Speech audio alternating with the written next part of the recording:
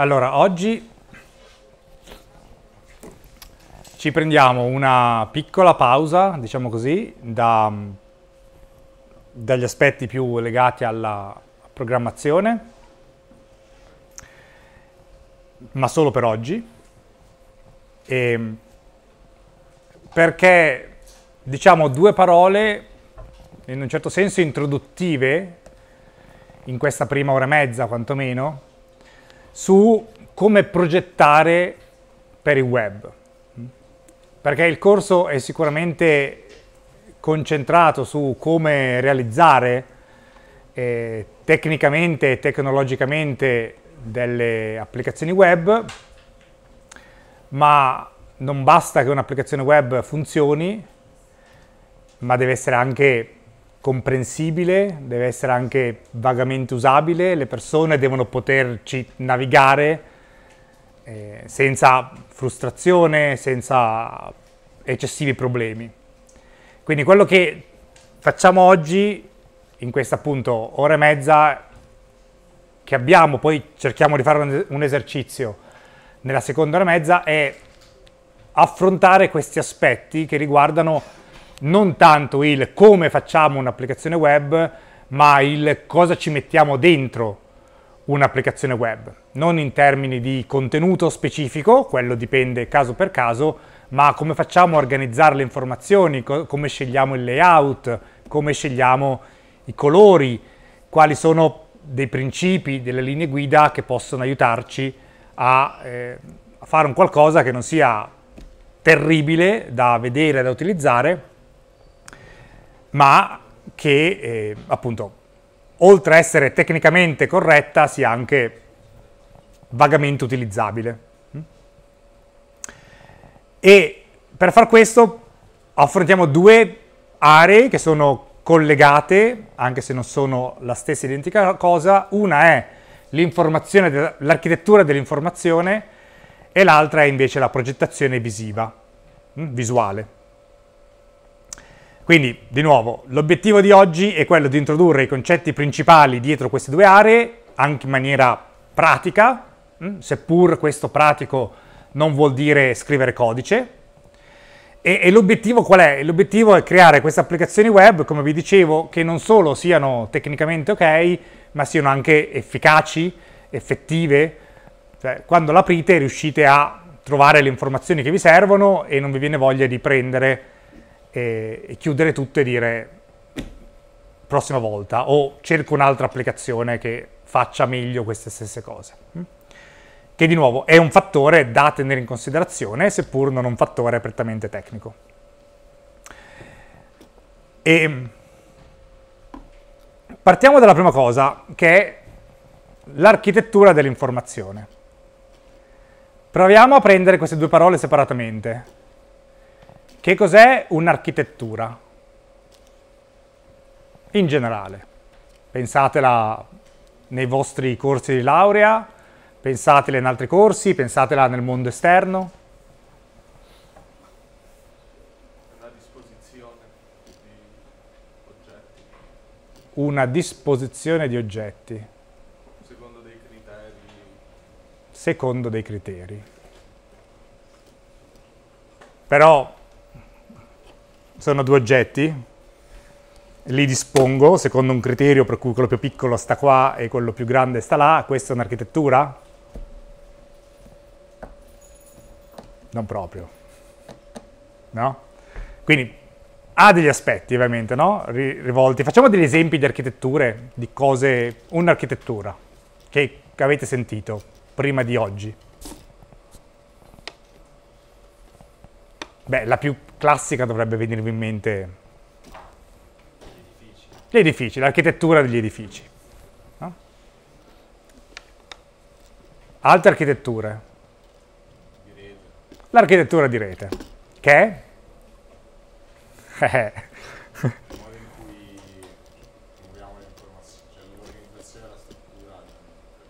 L'organizzazione e la struttura. Delle, delle, delle informazioni di rete specifiche, che ha a che fare no? con avere dei criteri per disporre le cose in un certo senso. E altre architetture che vengono in mente? Penso che ve ne possa venire in mente almeno una ancora, forse.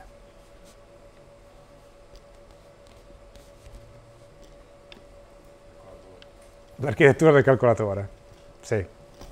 Che anche lì ci sono dei componenti disposti in qualche modo, secondo dei principi, che sfruttano alcune relazioni anche nell'architettura di rete, anche nell'architettura no, realist- architettura di edificio, no? ci sono degli, delle cose, dei componenti, degli oggetti disposti in certi modi, secondo certe regole, ma anche secondo certe relazioni tra gli oggetti.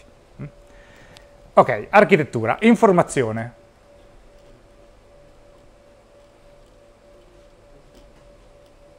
Cos'è, cos'è un'informazione? Un insieme di dati da cui si estrapola un, un concetto, non so bene come, comunque è un insieme di dati da cui si fa un senso logico. Di... Un insieme di dati. Usiamo questa come definizione che è abbastanza accurata. Siete troppo preparati, io speravo di spenderci più tempo qua. Allora, che cos'è l'architettura dell'informazione? Mettiamole insieme queste due, queste due cose. La definizione, una delle definizioni è che è la progettazione strutturale di ambienti di informazione condivisi. Quindi, innanzitutto parliamo di strutturale, quindi ci sono delle regole, ci sono dei criteri, ci sono delle cose che si possono fare, non si possono fare, eccetera. Ha a che fare con l'informazione, come dice il nome, e questa informazione è in questi ambienti che devono essere condivisi. Quindi uno dei criteri principali dell'architettura dell'informazione è che non è tanto un'informazione organizzata, diciamo così, nel vuoto, per me, che me lo sono fatta in 5 minuti e capisco solo io e va bene così, ma deve essere un'informazione che possa essere condivisa o condivisibile, quindi che vive in un contesto, in un momento specifico. E L'altro punto dice che l'informazione dell'architettura è la combinazione di quattro elementi all'interno di siti web e applicazioni software. Mm, l'architettura dell'informazione ha principalmente a che fare come disciplina con applicazioni software, siti web, qualcosa che abbia del contenuto dell'informazione da presentare. E questa combinazione è una combinazione di quattro sistemi, sistemi di organizzazione, di etichette, di ricerca e di navigazione. Cos'è questo organizzazione? Che cos'è un'organizzazione? perché parliamo di combinazione di un organization system, di un sistema organizzativo, di un sistema organizzato, di un'organizzazione? Cos'è un'organizzazione? In un sito web o in un'applicazione software. Una gerarchia. Come suddivido le varie informazioni. Come organizzo le varie informazioni, ma ovviamente un'organizzazione come organizzo le informazioni è un po' troppo facile come definizione. Una gerarchia è un esempio di un modo di organizzare, no? non è l'unico. Ok. E, ehm, vabbè, ricerca. Definiamo ricerca. La ricerca all'interno di un sito, non la ricerca su Google. Qual è lo scopo della ricerca? All'interno di un sito. Andate sul sito del Poli e scegliete deliberatamente di usare il campo cerca. Perché?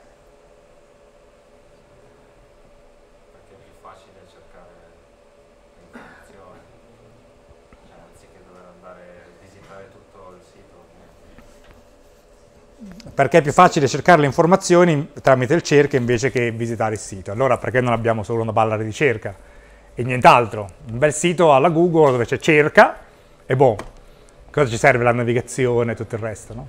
Quindi capisco dove vuoi arrivare, però proviamo a dirlo meglio. Non è filtrare la ricerca, non necessariamente. Anche navigando puoi trovare tutte, alcune informazioni, non tutte. Ma perché usi la ricerca e non clicchi sui menu?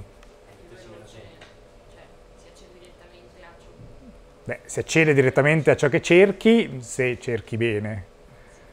Eh, cioè se cerchi una parola, un qualcosa che poi ha una, subito una rilevanza alta in modo da apparire lì.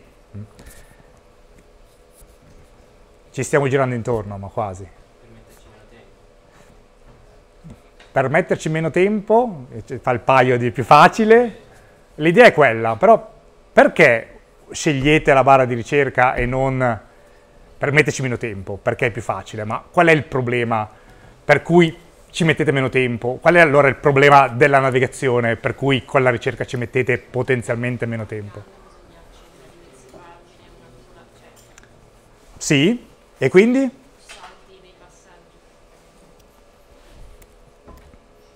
Ok, facciamo un esempio concreto, magari aiuta. Prendiamo il nostro sito preferito.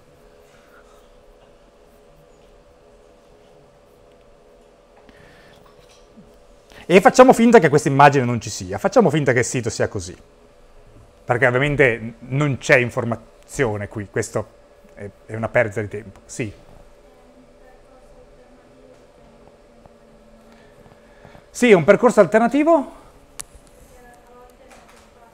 Eh, però a volte non è così facile, siamo di nuovo al caso di prima. Ok, facciamo finta che io debba trovare le informazioni sulle elezioni del rettore del mandato 2024-2030. Avete questa pagina davanti. Cosa fate? Cercate? O leggete la pagina? Però prima. Oppure...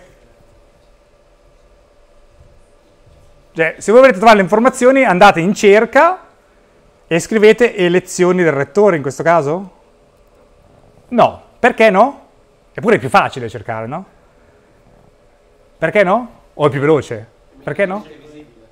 Perché il contenuto che volete è in questo caso più facile trovarlo già lì, perché è già lì l'informazione che volete. Allora, dicevo, ci siete quasi, no? Sul più facile e più veloce.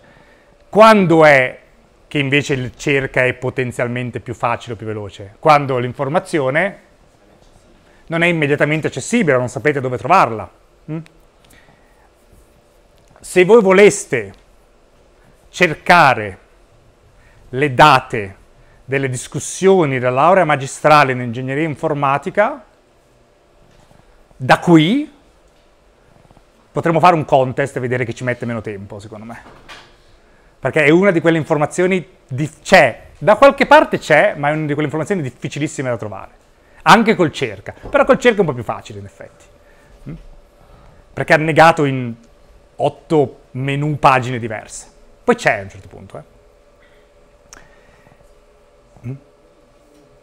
Ok, cerca. Cos'era l'altro? Navigazione. Cos'era la navigazione? Beh, in parte l'abbiamo detto. lo scorrere da una pagina all'altra, l'andare da una pagina all'altra, sì, anche, e ah, questa, come la possiamo chiamare questa roba qua? La barra di navigazione, ok. E la navigazione ci permette di andare da, dalla home page a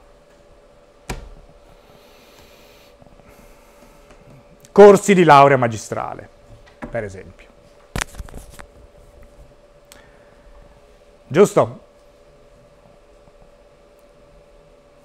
E questo è un esempio di navigazione, ma la navigazione, se vogliamo dargli una definizione più generica, più ampia. Suddivide in macrogruppi. No, questa non è la navigazione, suddivide in macrogruppi. Questa è l'organizzazione. Qualcuno ha deciso che sotto la voce didattica ci vogliono queste cose qui. con qualche criterio che... con qualche criterio. Non fatemi dire oltre. E, ehm, però la navigazione è sicuramente passare da una pagina all'altra, no? da qui andare a corsi laurea magistrale. Ma non solo, è anche... C'è la logica che c'è dietro ai vari collegamenti. Cosa vuol dire la logica?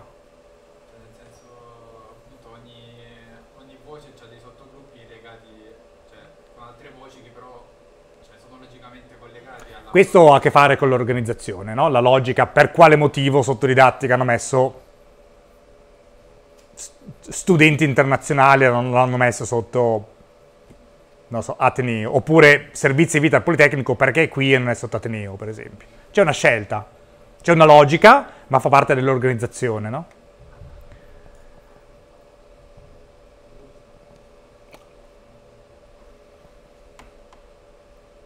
Quindi passare da una pagina all'altra è giusto, è un pezzo della storia. E poi? rendere tangibile l'organizzazione. No, ci stiamo allontanando, rendere visibile l'organizzazione. Se io volessi, senza usare il cerca, andare a vedere la scheda di insegnamento di questo corso, cosa dovrei fare? Vabbè, non, non è che dobbiamo farlo, però in teoria cosa dovrei fare? Navigare nei menu. E quindi? Quindi la navigazione serve a guidare la navigazione serve a passare, e l'effetto netto è passare da una pagina all'altra, ma è i percorsi per raggiungere da un punto un qualunque altro punto del sito, potenzialmente, no? In maniera strutturata, con delle logiche dietro, con dell'organizzazione dietro. E l'effetto netto, il passo piccolo, è passare da una pagina all'altra. Però se devo raggiungere la scheda dell'insegnamento di questo corso, passerò da una pagina a un'altra n volte, dove spero n sia un numero piccolo. Cioè andrò su didattica, andrò su corsi di laurea,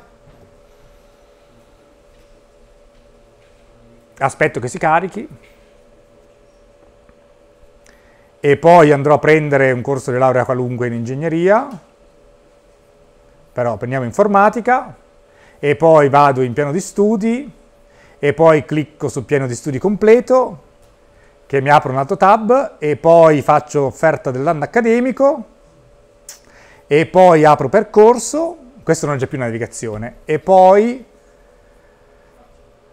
vado in fondo nei crediti liberi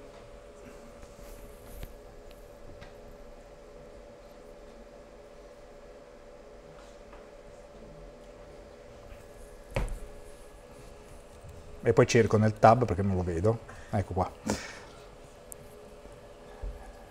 Perché ovviamente non sono ordinati alfabeticamente. E poi clicco qui e se sono fortunato arrivo alla scheda del corso. Ok, quindi tutto questo fa parte della navigazione. Come arrivo qui a partire dalla home page, ma anche come arrivo qui a partire dal corso di laurea magistrale in ingegneria fisica, che ovviamente non ha questo corso e richiederà un percorso di navigazione per arrivare qua. Ok. Quindi l'informazione dell'architettura si occupa di tutte queste cose.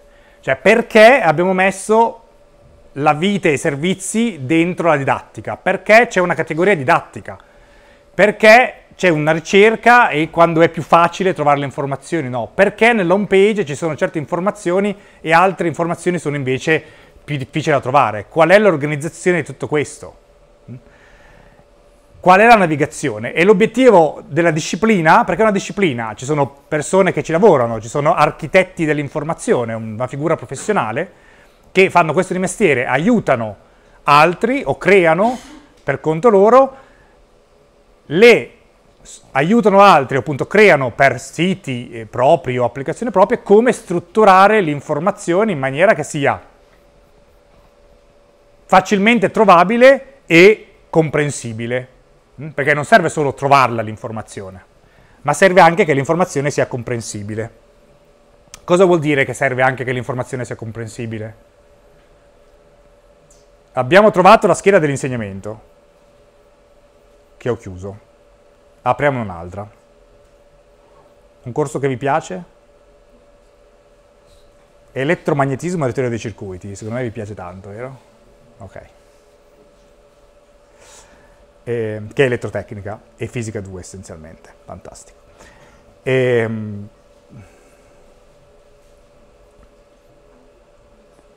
ok, voi se leggete questo l'abbiamo trovata, quindi se un obiettivo dell'architettura dell'informazione è trovare le informazioni, l'abbiamo trovata facilmente, un clic, eccetera. L'altro obiettivo è renderlo comprensibile. Allora chiediamoci, è tutto questo comprensibile per voi? C'è qualche, in questo pezzo, leggiamo in queste quattro righe, di più, questi concetti fondamentali. È tutto questo comprensibile? Non dobbiamo fare un esame, no? Ma se lo leggete capite più o meno di cosa si parla? Sì? Bene.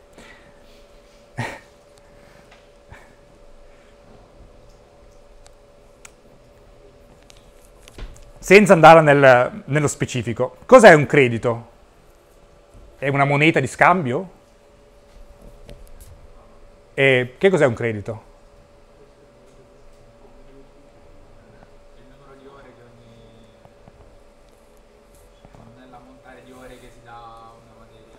È il numero di ore è il numero di ore associato a ogni materia. Questo è un corso da 12 crediti e quindi comporterà mm, quante ore in aula? Un corso da 12 crediti? No. Se il corso da 12 crediti, 120. E quante ore di studio individuale ogni credito ha? Al Politecnico di Torino?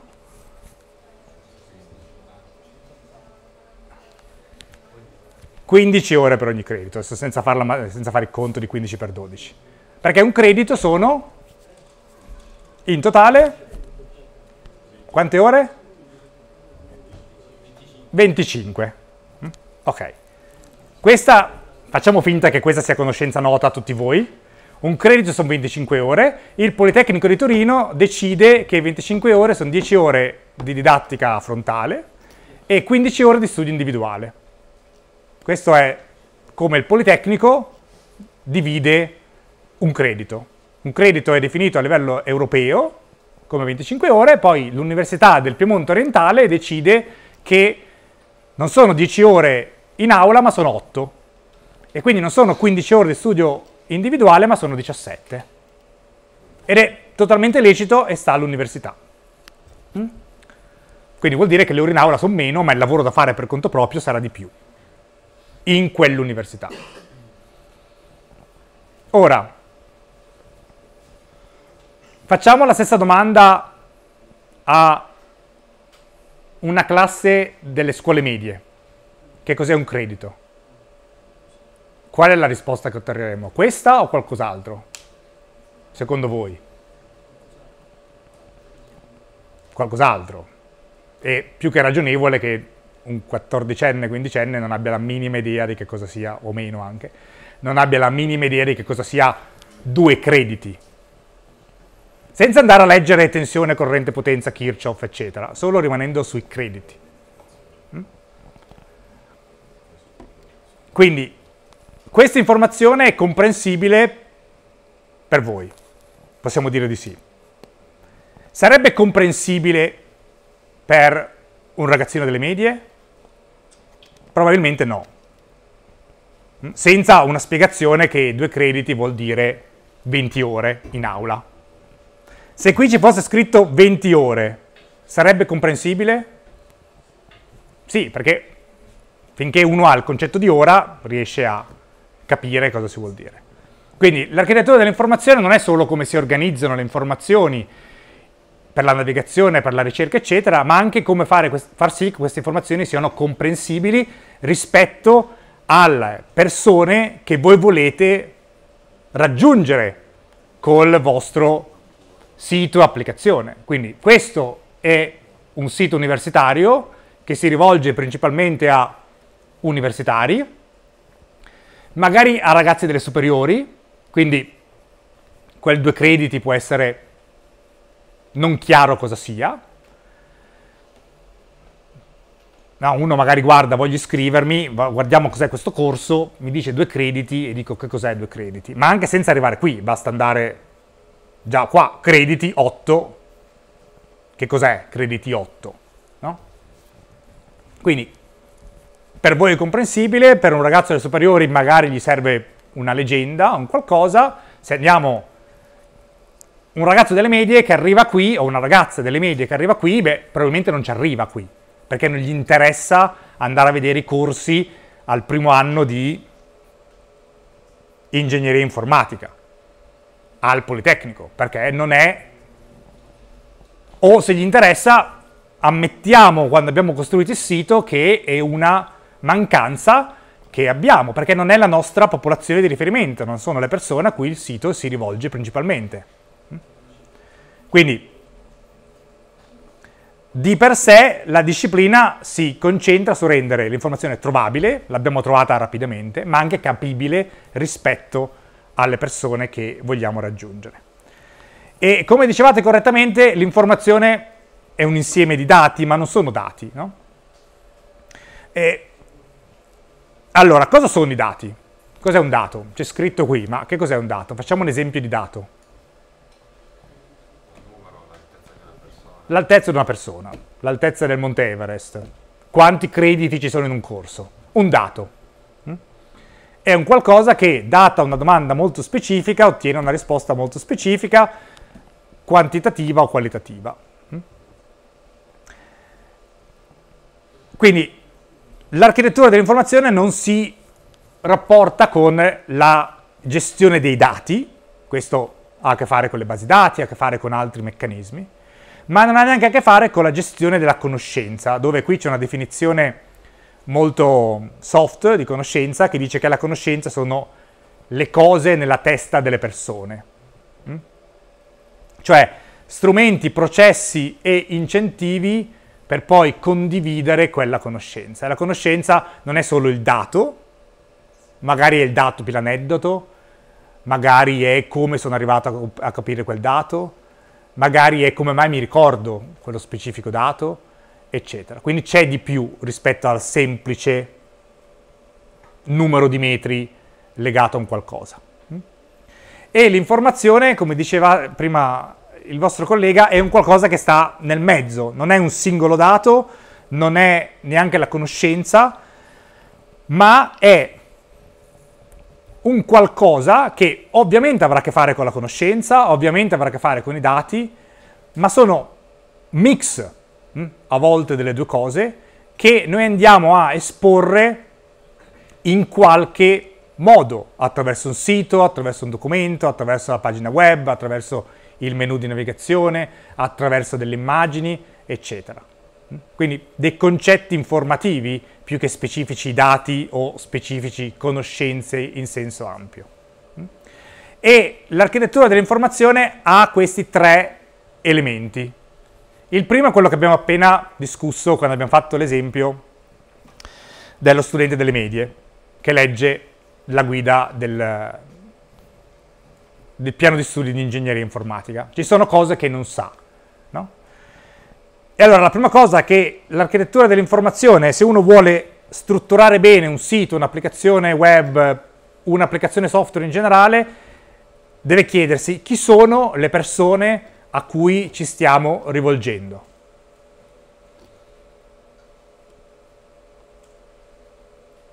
cosa sanno, quali sono le conoscenze, quali sono le terminologie che usano, cosa dovete fornirgli voi. Mm? Allora, facciamo un altro esempio. Se dovete fare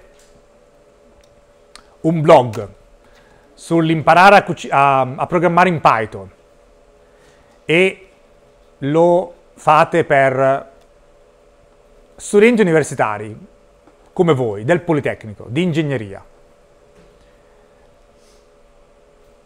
Potete usare termini come variabile, ciclo infinito, oppure no? Sì, perché siete titubanti? Mi sembra che... non vi chiedo cosa sono. Ehm, se lo stesso sito, sempre il blog per imparare a programmare in Python, lo faceste per, di nuovo, i ragazzini delle medie di cui prima, potreste partire con definisci una variabile oppure attenzione questo può generare un ciclo infinito oppure no? No. Perché no? Perché non hanno la minima idea di che cosa sia, magari sanno cos'è una variabile, ma magari non hanno la minima idea di cosa sia un ciclo e benché meno un ciclo infinito. Quindi se dovete raccontare quei dati, quei fatti, Una variabile in Python si crea così. Un ciclo infinito si scatena per... attenzione che questo può scatenare un ciclo infinito se dimenticate quest'altro. Sono fatti, sono dati, però vanno personalizzati, vanno comunicati in un certo modo in base alle persone cui- a cui vi rivolgete mm, nel creare un sito web, un'applicazione web. E quindi non solo la terminologia, ma anche poi il contenuto. Come comunichereste, come definireste una variabile a me o tra di voi? Datemi la definizione di variabile. E come la presenteresti? In maniera testuale, in maniera... Immaginate di fare questo blog per i vostri colleghi di un altro corso, ma sempre qui al Politecnico, sempre terzo anno. Definiamo una variabile.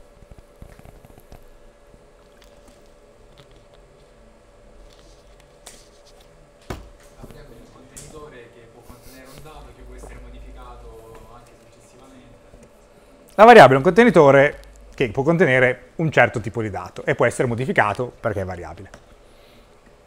E lo scriveresti in testo così, per esempio. Sì, no, però non... no. Ora, immaginate di voler dare la stessa definizione ma a un dodicenne. Scrivereste... Lo scrivereste basta o magari il contenuto sarebbe diverso? delle immagini, supporto per il... magari delle immagini, in cui fai vedere una scatola e un oggetto che viene messo nella scatola e dici in quella scatola è la variabile e l'oggetto che è dentro la scatola in quel momento è contenuto nella variabile. E quando lo tolgo e ne metto un altro, la variabile ha qualcos'altro al suo interno. O un'immagine, dei video, un contenuto multimediale diverso rispetto a quello che di nuovo avreste, quindi personalizzato in base all'utente, ma anche personalizzato in base al concetto, alle cose che volete comunicare, e al tempo che avete, e al tipo del sito, eccetera. E poi c'è il contesto. Mm? Ora, nel nostro esempio noi non parliamo di business o eh, organi- contesti organizzativi, ovviamente, però quale può essere il contesto? Per esempio, diverso tra spiegare come si usa una variabile, che cos'è una variabile a uno studente universitario del Poli e a il tipico prototipale ragazzino di- delle medie di cui prima. Quanto entri nel dettaglio? Quello è il contenuto, quanto entri nel dettaglio. Il contesto.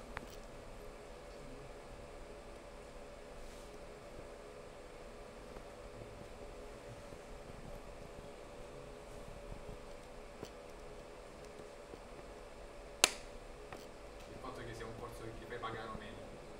No, è un blog, quindi non è un corso, no? Quindi vado lì sul sito, lo leggo, è un blog di imparare a programmare in Python per eh, preadolescenti. Facciamo finta sia questo.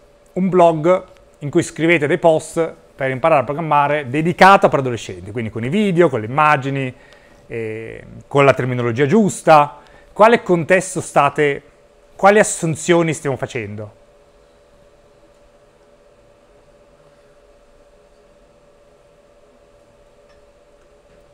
Che un evento lo dici magari per piacere,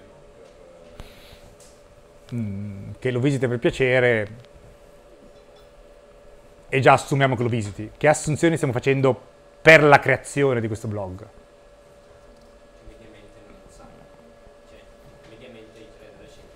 Ok, questa è un'assunzione, per cui noi sappiamo, assumiamo che culturalmente, dove? Nel mondo, in Italia, a Torino, i preadolescenti non lo sappiano.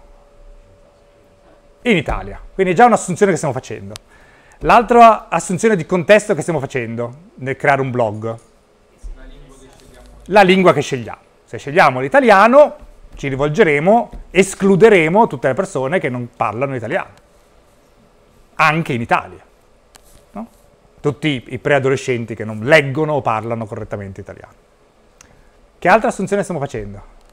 che ci siano adolescenti Vabbè, che ci siano adolescenti. no, vabbè, facciamo finta che quelli la sappiamo, ma che altra assunzione stanno facendo? Più, meno di alto livello, diciamo così.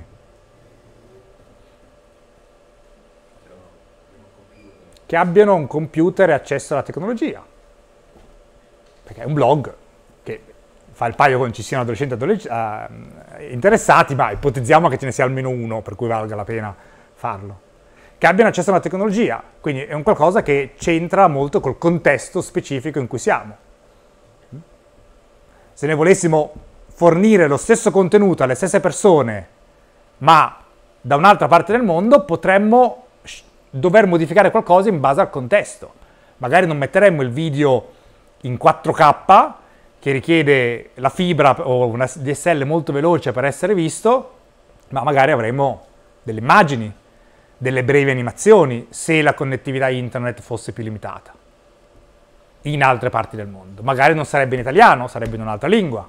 Questo è un qualcosa che riguarda il contesto specifico che, in cui viviamo. E tutto questo capisco che sia un po' alto livello e un po' ma cosa vuol dire, ma sono cose di cui noi partiamo da bravi ingegneri, anche se voi ancora ufficialmente non lo siete, partiamo e andiamo diritti. Tipo, ah sì, facciamo il sito web, facciamo l'applicazione, facciamo questo, risolviamo un problema senza aver capito se magari il problema c'è davvero. E probabilmente non c'è. Però noi lo risolviamo lo stesso. Mm? Quindi queste sono cose per quello che abbiamo questa, questa lezione comunque, non possiamo dedicarci tutto un corso, sarebbe, si chiamerebbe diversamente, però un cui, una, una lezione in cui proviamo a pensare al fatto che ci sia qualcuno che utilizza il vostro sito e che ci sia del contenuto che va fatto in base a questo qualcuno e che vive in un certo determinato contesto è un qualcosa non tanto ai fini del corso e dell'esame dove vi diremo noi l'applicazione deve fare questo, ciao, ma se dovete fare un sito, un'applicazione web per conto vostro per rilasciarla per darla a qualcuno all'interno di un'azienda dove queste cose invece contano, mm? dove gli utenti magari saranno i clienti e allora bisogna tenere in considerazione chi sono gli utenti, eccetera. E un altro eh, fattore che ci aiuta, se vogliamo, è, ehm, è tenere in mente che noi capiamo le cose spesso quando sono messe in relazione a qualcos'altro.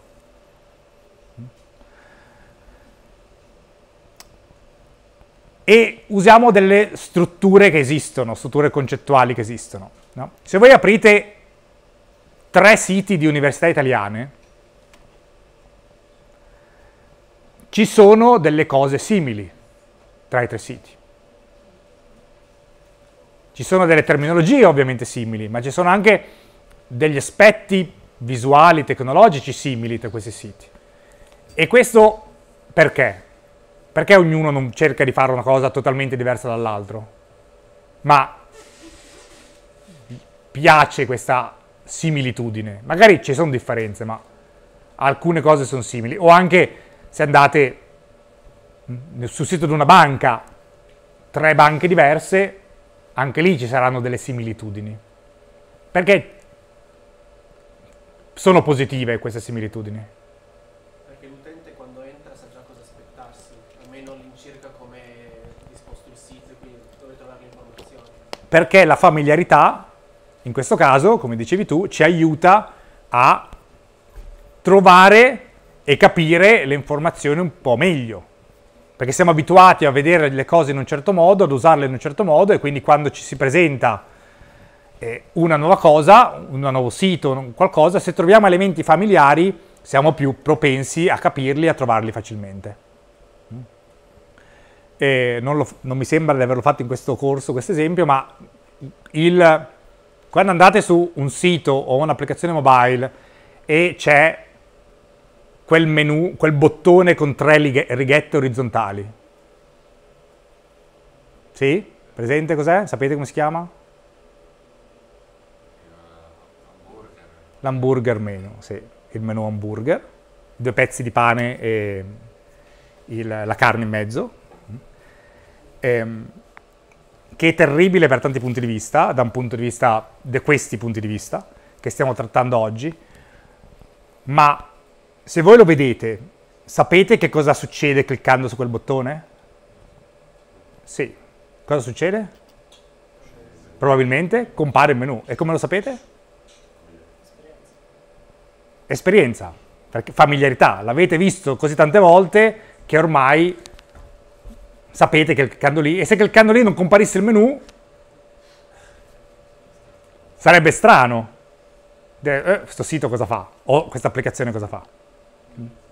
Questa è familiarità che standard, chiamiamoli così, che le siti e le applicazioni si portano per fornire un linguaggio comune in modo che le persone siano meno disorientate e trovino più facilmente le informazioni e le capiscano e le possono usare e rimangano sul sito e non lo chiudono e vadano da un'altra parte. Mm? Che poi è un po' anche l'obiettivo di chi crea un sito, un'applicazione, che le persone ci rimangano, non che dicano no, non si trova niente, vado a cercarla da un'altra parte. E la linea base, se vogliamo un principio che potrebbe eh, guidare un pochino, riassumere in maniera anche imprecisa questo che abbiamo detto finora è questo non farmi pensare. Cioè quando vado su un sito, su un'applicazione, qualunque cosa sia, se devo pensare troppo su come faccio a raggiungere una certa cosa, vuol dire che probabilmente c'è un qualcosa che non va in quel sito. E questo non fa pensare, questa è una pagina tratta da questo libro, che c'è anche in italiano, che è concentrata molto sull'usabilità del, um, del web e del mobile, che si chiama Don't Make Me Think, credo anche in italiano, non so se l'hanno tradotto, il titolo. E, ehm, e questo che è un libro corto in realtà, con molte immagini tipo questo. E quindi fa un sacco di esempi, no? Per cui c'è un sito e dice, ok, questo Steve Krug è un esperto di usabilità che fa consulenza per siti e applicazioni mobile, specificatamente, che dice, ok, guardo quest'area, questa è molto densa, da dove inizio? Perché lo chiamano così questa cosa, qualunque cosa sia che non si legge? Questa qui è un qualcosa che si può cliccare oppure no? E questa è navigazione, perché qui a, a, sinistra e non è sopra come mi aspetterei in, una, tutti, in certi siti? E perché c'è questo qualunque cosa sia in questa posizione qua. Questi due link sembrano in realtà identici, perché sono due volte, non bastava uno solo, dato che sono anche molto vicini l'uno all'altro. Queste sono cose che noi probabilmente facciamo in millisecondi. Non è che ci passiamo un minuto a riflettere su dove cliccare, e poi proviamo, e poi magari torniamo indietro.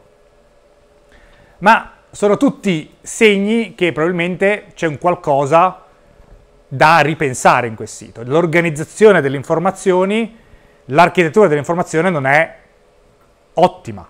Quindi qui è troppo denso. Perché è così denso? C'è troppa informazione? Bisognava dividerla meglio? Il nome che hanno scelto qui è confusionario? Va bene? Perché l'hanno chiamato così? Questo è cliccabile o non è cliccabile? E se è cliccabile, perché non è più evidente che sia un bottone? E se non lo è, perché mi sembra un link, in parte? O perché vorrei cliccarci? Quindi è un qualcosa che poi nel progettare o riprogettare questa pagina, non a livello tecnico, perché questo è testo e contenuto, ma a livello di come dispongo le informazioni e perché le metto in quel modo e perché le chiamo in quel modo. È quello che in un certo senso si potrebbe dire eh, se non è usabile in realtà non funziona davvero. Quindi tecnicamente funziona, ogni link funziona, ma se poi non si riesce a utilizzare, non è davvero funzionante. È tecnicamente funzionante, ma non praticamente. Quindi questo, eh, se volete, dicevo, è un libricino che, che, copre questo con tanti tanti esempi, soprattutto sul web, ma anche sul mobile, se volete dargli un'occhiata, esiste da tanti anni. E sono certo che si possa trovare in qualche modo, se volete. E Uno strumento che viene utilizzato nel, eh, nel mondo dell'architettura dell'informazione per quanto riguarda la navigazione, che evidenzia che la navigazione non è solo un passare da una pagina all'altra, ma è un percorso, sono le mappe dei siti, visto che parliamo di applicazioni web. No? Le mappe dei siti mostrano le relazioni tra elementi di informazione e possono essere utilizzati per raccontare l'organizzazione, la navigazione e l'etichettatura di sistemi. Allora, questa è una mappa di un sito. Di che cosa tratta questo sito? Qual è l'argomento di questo sito? Qui non c'è contenuto, no? Quindi non possiamo sapere il contenuto, non sappiamo sapere il contesto, eccetera. Però possiamo capire quali sono le relazioni tra gli elementi informativi. Di che cosa tratta questo sito, secondo voi? Di vacanze, di tour. Perché? Perché di tour e non di mensa o di cibo o di... dai titoli delle pagine, perché c'è molteplici pagine dove c'è scritto tour. Ok. Allora, come è fatta questa mappa di navigazione? Cos'è la index? La home page, la pagina principale. Da dove, va, dove posso andare dalla index? Ho due strade. Quali sono queste due strade? Mhm. di ricerca specifica e quella forse generale introduttiva. Questo che cos'è quindi tra le due? Ricerca specifica. Se cerchi Cerchi, il campo cerca. E questo? Questa non è la pagina introduttiva, quest- sì, questa è la pagina introduttiva. Questa è una freccia che porta a, ehm, in certo senso, tutto questo blocchettone di pagine, no? Quindi potremmo immaginare questa sia una sorta di navigazione, di barra di navigazione in qualche modo organizzata, non lo sappiamo, non lo vediamo, che porti a queste pagine, che sono le pagine... Quindi dalla home page è possibile andare alle singole pagine o è possibile andare ai risultati della ricerca. Benissimo. Da dove possiamo andare dalle singole pagine? Per esempio da Family Tour page. Dove possiamo andare da qua? Dove possiamo andare? Di nuovo alla home page, quindi indietro. Se ci siamo arrivati dalla index possiamo andare alla home page, che è una delle cose che quando uno fa una- un sito, un'applicazione un po' complessa, il, il ritornare indietro o ritornare alla pagina principale è una delle prime cose che ci si dimentica. E poi da dove posso andare da qui? Posso andare, se seguiamo la freccia, sia a questa information page, da qua, sia ai risultati della ricerca. Perché ci sarà un campo ricerche, quindi potrò andare. Quindi da questa pagina posso andare a una pagina di informazioni generica, di dettaglio, oppure ai risultati della ricerca. Perfetto. Dai risultati della ricerca dove posso andare?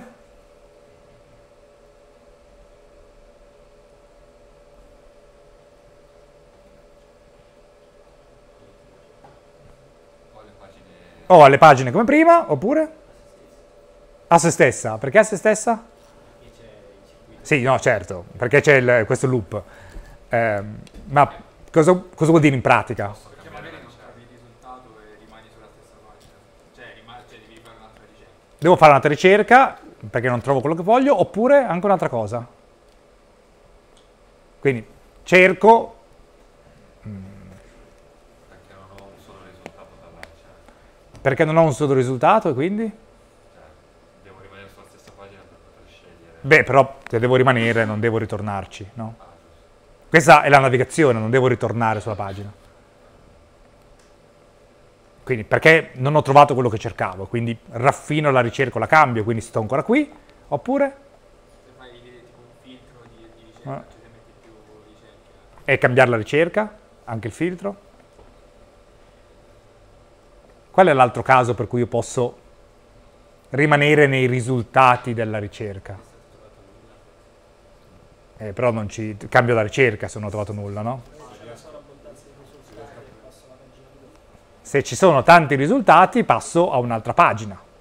Allora rimango sui risultati perché ci sono più pagine dei risultati, no? Quindi queste mappe mostrano come, partendo da un punto qualsiasi di un sito, in questo caso di un sito, posso raggiungere un qualunque altro pagina del sito.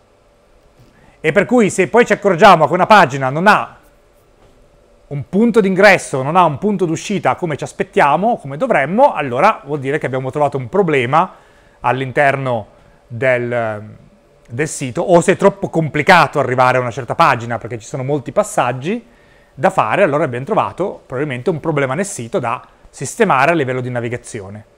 Quindi queste mappe del sito sono sia strumenti comunicativi, per cui io lo do a uno sviluppatore web e gli dico fammi un sito che abbia questa navigazione e lui o lei può replicare questo con i link appropriati e decidere dov'è la ricerca e decidere che tutti questi sono una barra di navigazione, fare decisione dal suo punto di vista, ma anche dall'altra parte usarlo, prendo un sito attuale, prendo il sito del Politecnico e cerco di costruirmi la mappa di navigazione del sito.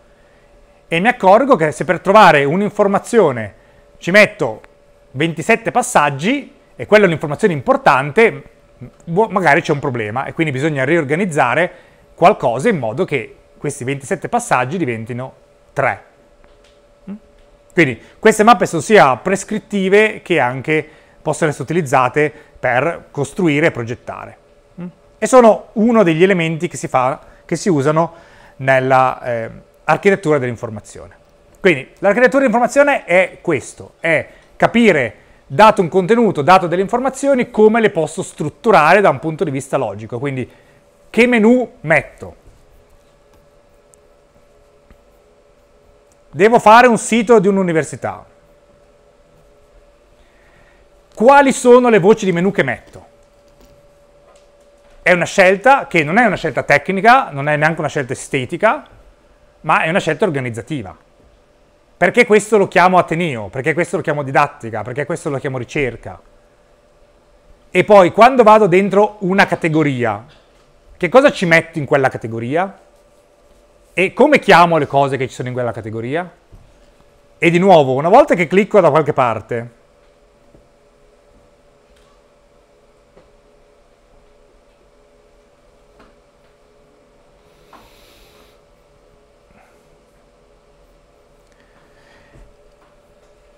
Quali sono le sottocategorie che vedo? Perché sotto servizi ho messo queste e non ho messo invece le cose per il career service, che come dice il nome sono sempre service? Perché una in italiano e l'altra in inglese? Che scelta ho fatto per farlo? Logica o, o non logica, condivisibile o non condivisibile? Ma la creatura dell'informazione è farsi queste domande e decidere alla fine che dentro servizi e vita al Politecnico, che chiamo esattamente così e non chiamo servizi del Politecnico, per esempio, o servizi e vita, o esperienze al Politecnico, o esperienze in Ateneo, o qualunque altro titolo, vado a mettere esattamente queste cose e all'interno di queste cose organizzo le informazioni esattamente in quel modo e tutto il contenuto è ovviamente fruibile e, e comprensibile e trovabile per quelle persone di cui vogliamo eh, orientarci. Quindi questo, per esempio, sarà rivolto principalmente a chi? Questo servizio vita politecnico? A chi? Agli studenti.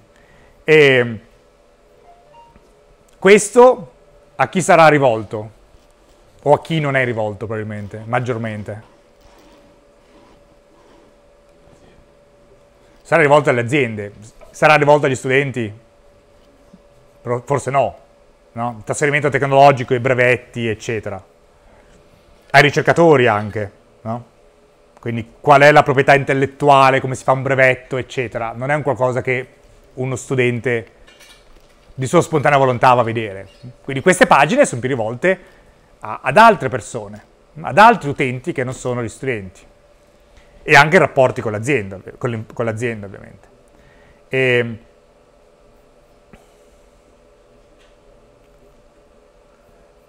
fatemi prendere un qualcosa che so dov'è.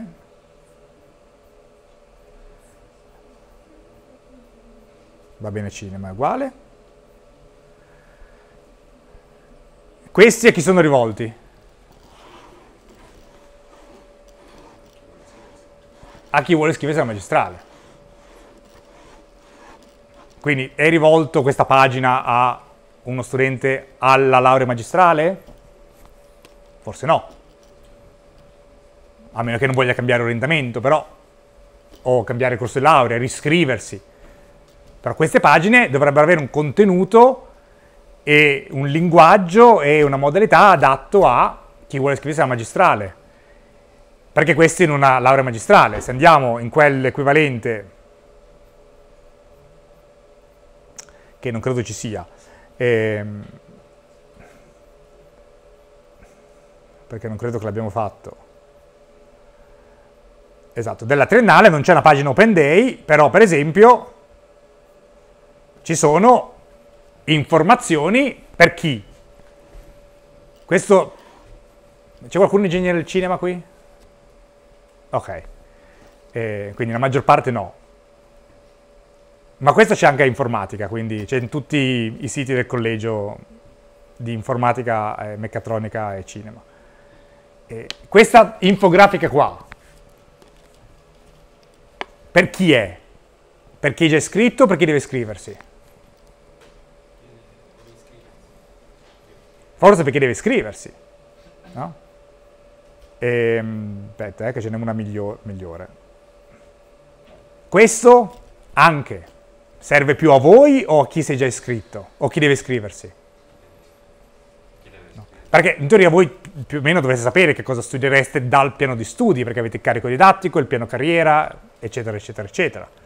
No? Invece questo è un colpo d'occhio su come sono distribuite le materie Vedete, senza parlare di crediti, perché uno studente delle superiori tipicamente non sa cos'è un credito. Allora qua si dice in percentuale il 30 qualcosa per cento sono materie di base nei tre anni della laurea in ingegneria del cinema.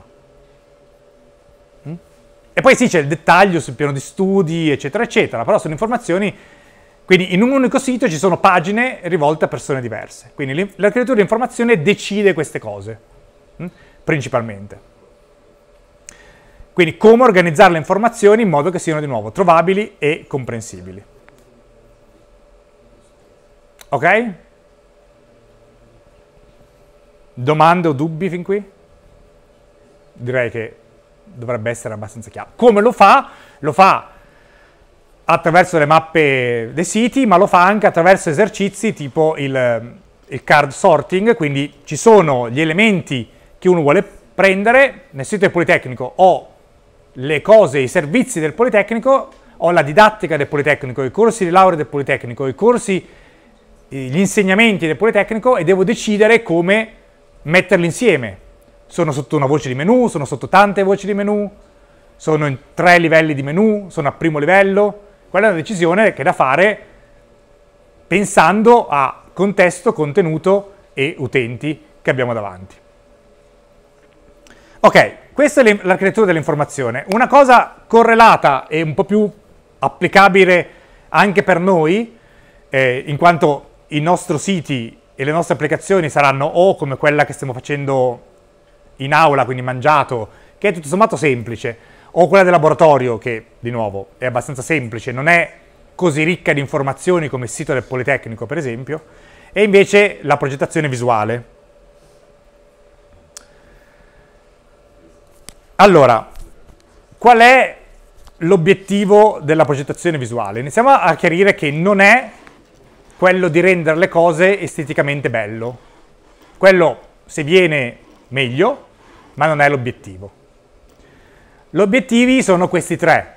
Sono quello di fornire struttura, importanza e relazioni, supportando l'architettura dell'informazione, ma anche fornire orientamento, fornire familiarità, fornire punti di partenza, di arrivo, direzione su come comportarsi e anche esprimere significato e stile alla vostra specifica applicazione, al vostro specifico eh, sito, per esempio, hm? sia a livello cosciente che non cosciente.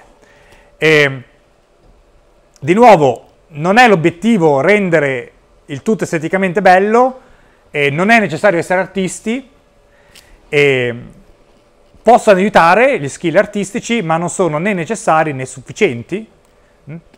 e, perché questa è progettazione visuale che è estremamente pratica da quel punto di vista. mm? E soprattutto imparare a progettare e a progettare, qui è scritto design, ma in italiano design possiamo anche tradurlo come progettazione, non solo come disegno.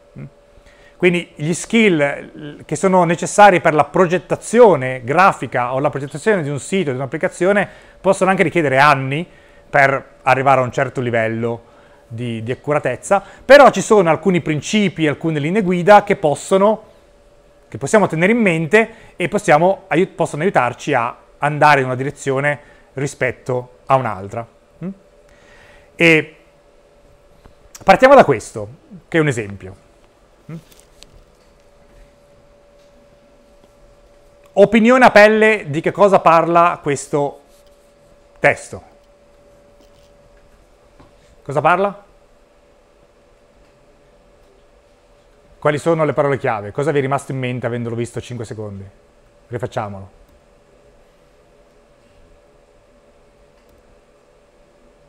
Cosa vi è rimasto in mente a prima vista? Mm? Che sono? Quindi non sono rimaste in mente le prime parole. C'è del testo, tanto. Questo spiega quali sono alcune regole base della progettazione visuale e quali sono gli elementi principali della progettazione visuale. Quindi qui ci rimane poco in mente. Così ci piace di più? È lo stesso identico testo di prima. Non c'è nessunissimo cambiamento nel contenuto, ma ci sono degli spazi che ci fanno dire, per esempio, che ci sono quattro frasi separate. Quindi gli spazi sono un elemento base della progettazione visuale e bisogna usarli quando abbiamo del testo o degli elementi in generale da evitare un qualcosa del genere. Ci piace di più così? È sempre lo stesso testo di prima, lo stesso contenuto di prima. Di che cosa parla questo testo? A colpo d'occhio. Cosa sono le prime cose che, vi- che vedete?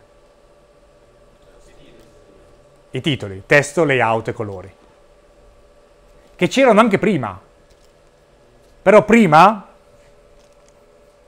testo, che è qui, e qui, layout e colori. Sono esattamente le stesse informazioni, ma presentate, organizzate in maniera diversa. E a colpo d'occhio potete dire mi interessa o non mi interessa.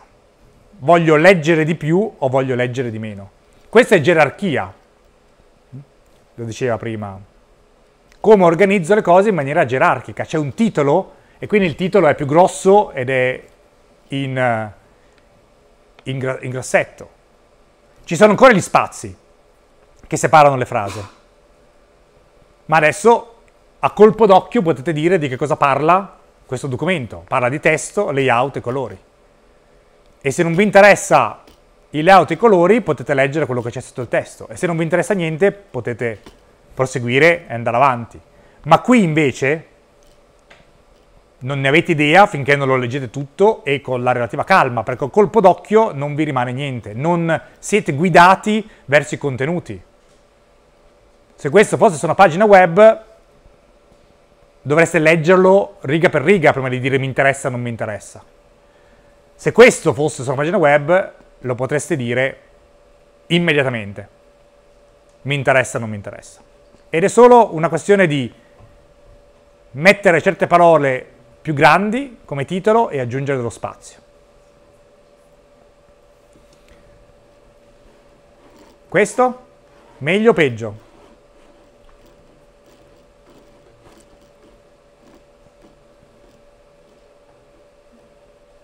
Cosa è cambiato rispetto a questo? C'è un elenco puntato e poi?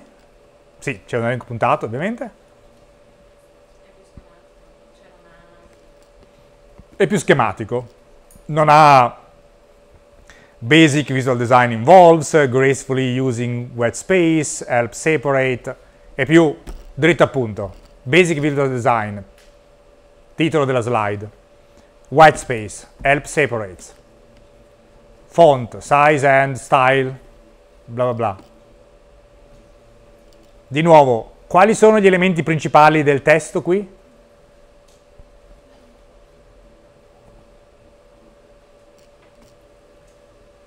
Quali sono gli elementi principali del testo qui? Le tre caratteristiche principali? Spazi, font, di nuovo, colpo d'occhio con un allineamento diverso e uno stile diverso, fornite le informazioni che esattamente quelle di prima sono solo fatte in maniera diversa.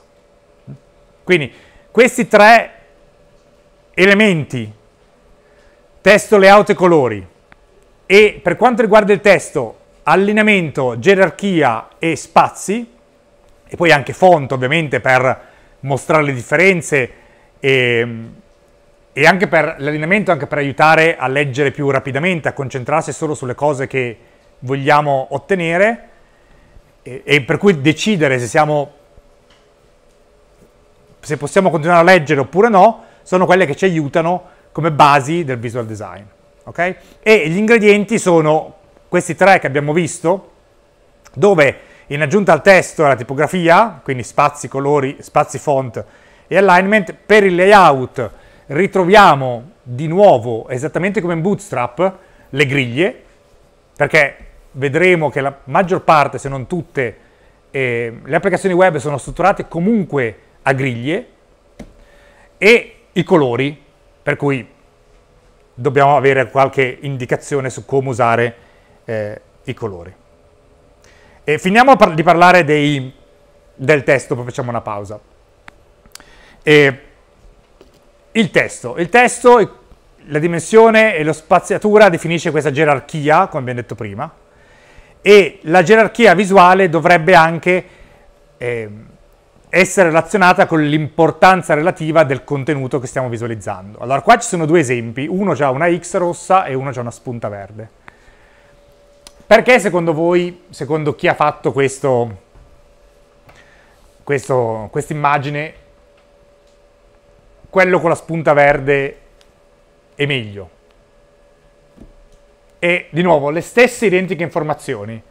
Qualcuno deve pagare, paga, Mario Rossi paga con una Mastercard 20,02 euro al comune di Gallarate. Sono le stesse identiche informazioni. Perché quella con la spunta verde è meglio?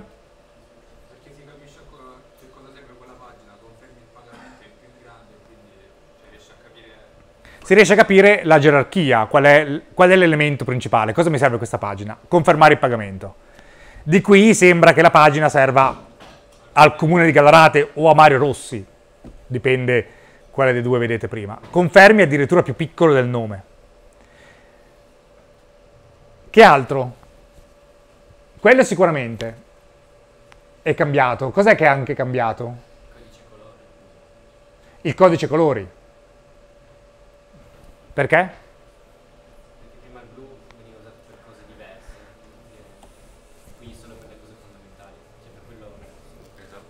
Risalta di più. Il blu veniva usato, è lo stesso colore di conferma e paga, che è l'azione principale, qui invece, oltre ad essere più piccolo, e, e, e anche del colore in realtà dell'azione secondaria, che annulla il pagamento, ma qui non c'è un'azione. Cos'altro?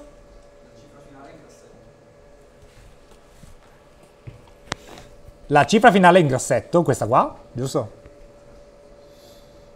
Poi il font è più piccolo, tutto il font è più piccolo, perché tranne il totale, che rimane uguale.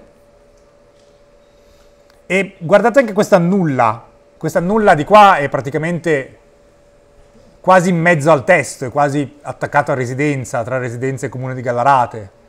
Invece qui è spaziato, questa nulla, qui non si capisce bene a cosa si riferisca, qui probabilmente è una scorciatoia per questo annulla il pagamento che tra l'altro è grigio, esattamente come il bottone annulla il pagamento, invece qui era blu come il bottone conferma e paga.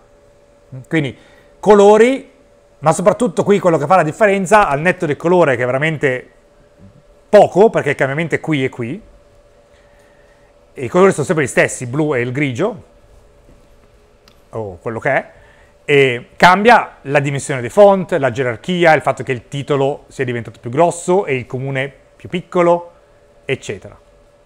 Di nuovo, stesse informazioni, una è più chiara, l'altra è meno chiara. E qual è il vantaggio sul fatto che questa sia più chiara? Ai fini pratici? È più veloce? Meno gente sbaglierà. E cosa succede se uno sbaglia il pagamento al comune di Gallarate?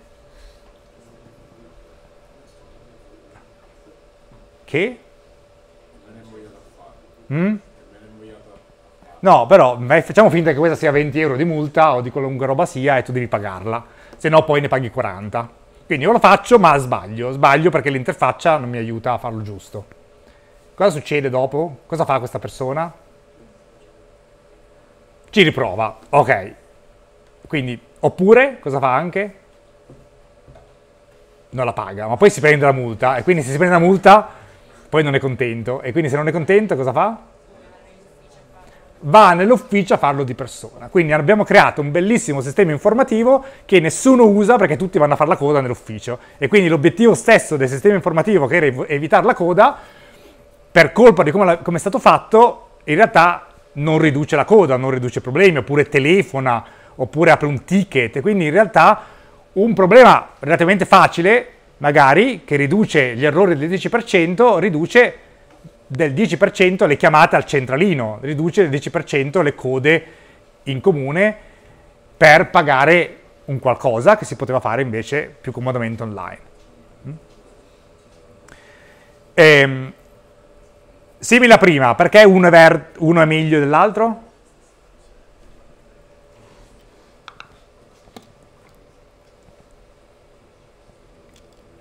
Questa è una casa in vendita, immaginate che dovete comprare casa e che abbiate questi giusti 750 mila dollari in tasca così da spendere per questa casettina da, del 2012 con tre camere da letto, due bagni, almeno una cucina e almeno un soggiorno, più il giardino direi, se è quella della foto, più due piani di casa, più un garage, perché volete che una casa così non abbia anche un garage. Ecco, perché quella verde è meglio? Quella con la spunta verde meglio. Risalta subito a quello che interessa all'utente. Risalta subito quello che interessa all'utente. Che è? Il prezzo, poi com'è la casa. Il budget, scusa, il prezzo, sì, e poi? Poi com'è la casa e poi di chi è. Beh, come la casa si vede anche qui, no? Cioè come la casa strutturata. Ma anche qui ci sono quelle informazioni, eh? Sono scritte, sono di nuovo le stesse informazioni, solo evidenziate in maniera diversa. Se io cerco una, ho un milione di dollari in banca, facciamo finta, e devo comprare una casa dovunque sia, questa casa, non in Italia sicuramente, ovviamente essendo in dollari, e il prezzo è sicuramente un fattore, ma l'altro fattore è quanto è grande la casa. A me magari non servono tre camere da letto, a me magari servono due o cinque e quindi sono informazioni che a colpo d'occhio mi aiutano a dire sì, contatto Tiffany, oppure no, vado avanti nella prossima casa. E di nuovo, informazioni chiare mi permettono di andare avanti e permettono a Tiffany di non ricevere chiamate del tipo sarei interessato alla casa su eh, Evergreen Terrace al 742, ho un budget di 500.000, Posso vederla? Eh, no, perché costa 750. Come scritto, però è scritto piccolo e magari uno di fretta, mentre sta facendo altre cose, mentre magari se ha bisogno di una casa con tre camere da letto, magari ha dei figli, magari dei bambini piccoli che in quel momento stanno piangendo, mentre sto cercando casa, quindi non è che sia perfettamente in un posto calmo, tranquillo e stia dedicando il 100% dell'attenzione alla ricerca di casa. Succedono altre cose nella vita sto usando un sito perché è lecito e in quel contesto specifico un'informazione più chiara mi aiuta a prendere una decisione migliore, a non fare errore, a non far perdere tempo a Tiffany, a non perdere tempo io a dover telefonare a qualcuno che so già non avrà la soluzione giusta in quel momento per me. Mm? Quindi, significato.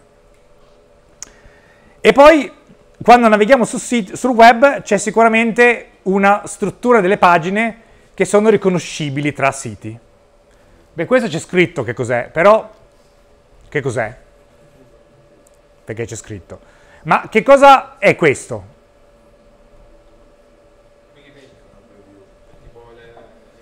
Delle informazioni in evidenza. Ok? E questo noi lo riconosciamo anche senza aver visto il contenuto. Perché è una struttura della pagina riconoscibile e se voi andate su un altro motore di ricerca che non è Google, avrà una struttura della pagina, di nuovo, estremamente simile. Se voi andate su Bing, ammesso che esista ancora, suppongo di sì, se voi andate su Bing e cercate, la struttura della pagina non sarà, se cercate qualunque cosa, non sarà totalmente diversa da questa. Sarà simile perché è familiarità.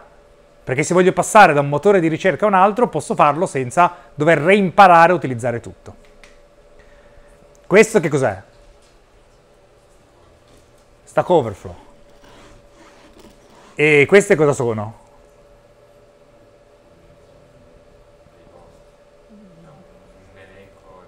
Sì, su Stack Overflow non ci, non ci, sono, sì, ci sono post, ma cosa sono su Stack Overflow i post? Delle domande con le loro risposte. E in effetti questa è la pagina di Stack Overflow.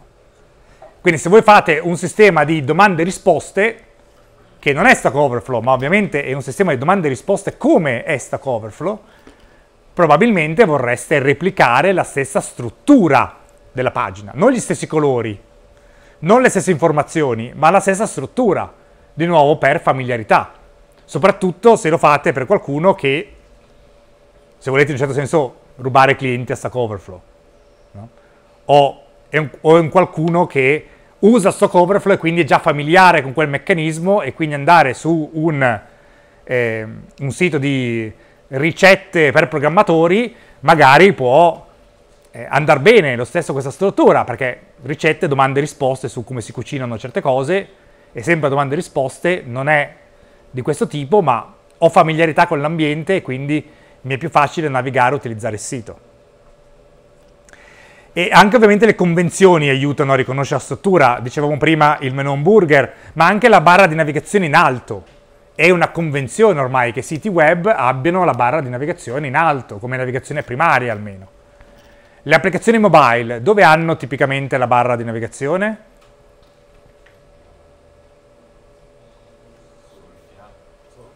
Sotto. Adesso magari dipende da che sistema operativo, ma diciamo in genere sotto, in basso.